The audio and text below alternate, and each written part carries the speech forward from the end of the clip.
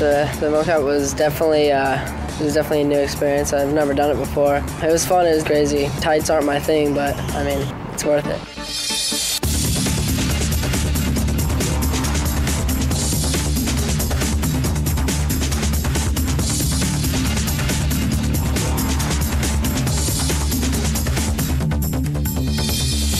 Been in the last Tony Hawk games and we just had to take pictures, but he tricked me on this one.